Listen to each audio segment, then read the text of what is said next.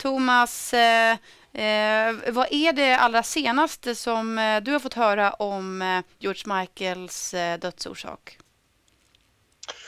Ja, de här uppgifterna kom ju bara för eh, några minuter sedan om att man nu då har genomfört en obduktion. Den ska ha genomförts igår och man säger i ett uttalande från Thames Valley Police som då är polismyndigheten som Eh, hanterar det här ärendet att man eh, då trots obduktionen inte har kunnat fastställa en eh, dödsorsak efter George Michaels död och som sagt så väntar man nu då på att fler prover ska utföras och man säger också att resultatet av de här proverna sannolikt inte kommer att bli klara på flera veckor.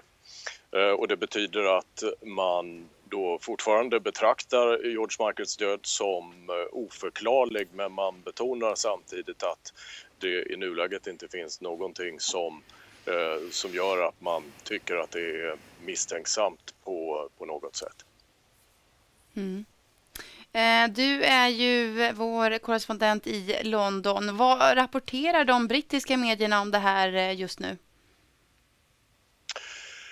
Ja, framförallt eh, det som har varit idag förutom detta som nu då blir en stor nyhet i de brittiska medierna såklart så eh, det har egentligen varje dag sedan döds, sedan, eh, sedan han gick bort på juldagen rapporterats om olika saker, bland annat om det miljardarv som han lämnar efter sig och de uppgifter som har kommit idag om det är att eh, han kommer att lämna merparten av sin förmögenhet på mer än en värt mer än en miljard kronor till sin eh, äldsta syster. Men de senaste dagarna har det också eh, rapporterats om George Michaels hälsa genom åren. Det är ju välbekant eh, att han kollapsade i samband med en turné i Österrike 2011. Han lades sedan in på sjukhus med lunginflammation och var medvetslös också under delar av den perioden. Och enligt de uppgifter som har framkommit de senaste dagarna från eh, människor som känner honom, från hans vänner, så ska han ha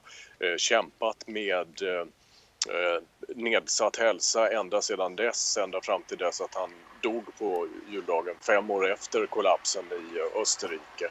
Eh, och det ska tydligen ha handlat om att han har eh, hans lungfunktion har, han har haft eh, nedsatt lungfunktion till följd av den här svåra lunginflammationen som han drabbades av 2011. Det har också talats en del om eh, hans rökning. Han har tidigare själv sagt att han har rökt väldigt mycket och enligt vissa rapporter i brittiska medier så ska han eh, ha tagit upp rökningen igen eh, efter att han eh, en gång slutade. Så att det är eh, både eh, rapporter om eh, hans eh, hälsotillstånd men nu också då eh, hans miljardarv som har dominerat rapporteringen de senaste dygnen.